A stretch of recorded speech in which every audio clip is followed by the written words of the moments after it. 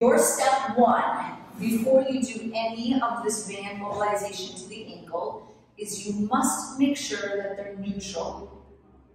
Which means if she's sitting here like this, yeah, collapsed in, can you centrate an ankle that's sitting like that?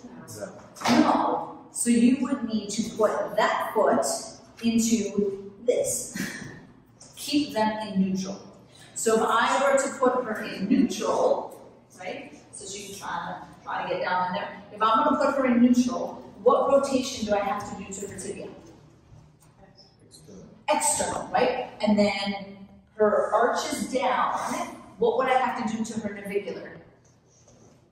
Dorsiflex it, yeah? Or lift it. So I would technically do that, right?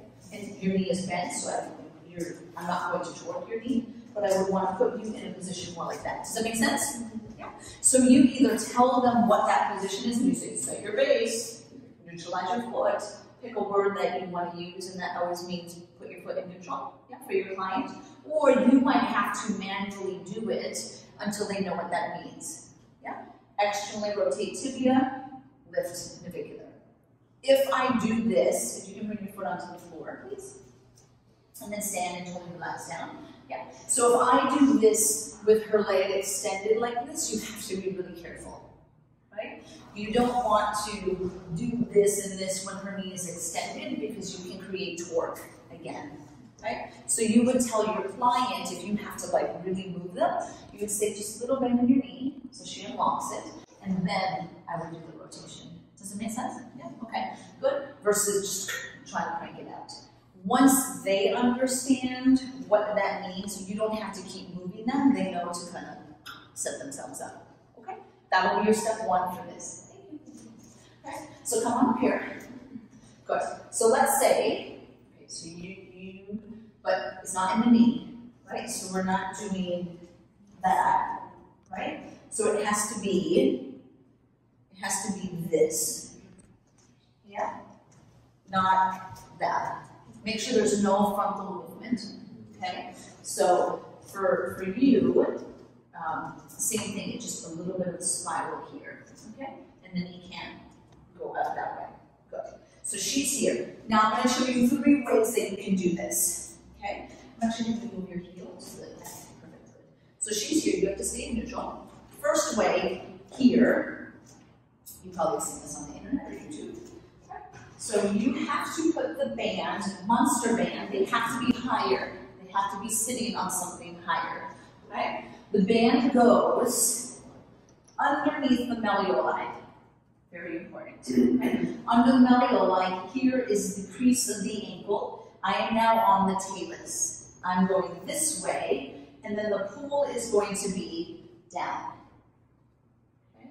If you've seen on the internet that some people will do just this way, that's not specific to the talus. You have to be under the malleoli. Okay, so under malleoli here, pulling down.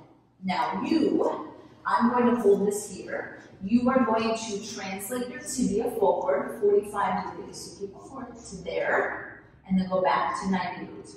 To there. Go back forward again. Here, and then back to here. Okay? So small movement forward and back. If she kept going forward, go forward as far as you can. Like, look at me, right? This, she's going to start pronating. As soon as she starts pronating, she's now going to start putting centration into her ankle again. So you want to do a smaller window or range of motion. I, the trainer, have to make sure that she's staying in neutral. Okay? Okay? This is first way. Second way is Instead of bringing the talus back, I can bring the tibia or the fibula forward, which means I'm going this way. Okay? So now, the band is here. I am not on the Achilles tendon because I can irritate the Achilles. I'm sitting, higher. Is this the one that you took a while to get rid of? It's just like, I still want it. It's not fun. Okay, so this is here. I'm holding on the chair so slide. Now I'm holding this way, and then you're going to translate it to be the same way. So 45 degrees, and then you're going to go back to zero. Slipping. You these chair, this is not the chair you actually like to use, a box or something. Yes, you go forward and then you come back. Now what you're doing is you are pronating, so I need you to stay here. Okay. Okay. And if you can't stay there when we're doing it, I need you to do even less translation. As soon as she pronates, she goes we don't want her to. So she would just do a little bit and then all the way. So a little bit wide. Make sense? Okay? That's two. Third, and when we do this, when you guys do this, you can put it on a mat so it doesn't slide. Okay? The third one is going to be right leg, right hand. Goes in, and I'm essentially combining one and two. So I'm going to go here. When I do three, or the third one, no movement. No movement. Yeah? I pull and I'm pushing. Okay? This action together, I just sit here passive. My hand is going, so choose this. My hand is going that way, not that way. Okay? Angled like this. Okay? And the this part of my hand is what's sitting on the talus. Okay? So I don't want to do this hand because now I'm not getting that angle. Yeah? Okay? So I would just hold there, hang on, hang on, hang on. You do this, she relaxes while I do this. Yeah, you could hold for a minute and then release. She may feel, or the client may feel, just like you're opening up the joint, decompressing the joint. You may, in cases, especially if you do this one, but you do this with your decision of are you going to touch someone?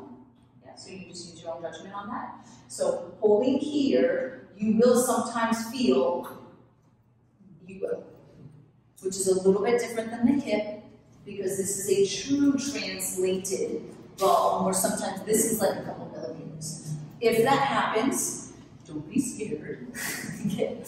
And if that does happen, your client may feel dizzy, lightheaded. Anytime you shift a joint or twist a joint, it can have a visceral response. So I've had some that are just like, I feel really nauseous right now. And they just sit down and calm down and breathe if you want, deep breathe, diaphragmatic breathe, and then they can calm down.